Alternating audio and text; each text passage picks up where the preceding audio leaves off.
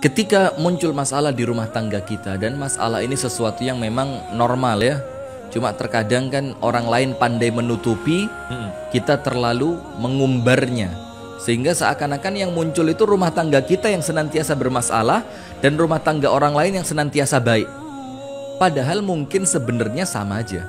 Cuma orang lain berusaha menutupi Nah, dan kita terlalu apa? mengumbar. mengumbarnya.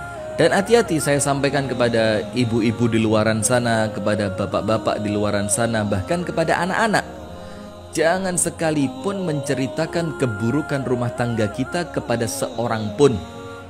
Kenapa begitu? Karena apabila Anda menceritakannya, maka ini bisa menjadi senjata untuk orang lain yang mereka menginginkan rusaknya rumah tangga kita. Jadi kalau kita ceritakan, keburukan istri kita, kita ceritakan keburukan suami kita, kita ceritakan kelemahan rumah tangga kita. Jadi mereka udah punya kunci untuk merusak rumah tangga kita. Sementara apabila kita menutupinya, maka masalah itu tidak akan melebar. Apabila kita menutupinya, kemudian orang lain melihat rumah tangga kita itu baik-baik saja, maka itu termasuk husnudzon dan akan menjadi doa dan itulah yang akan Allah berikan kepada rumah tangga kita. Nah, maka jangan mengumbar aib rumah tangga.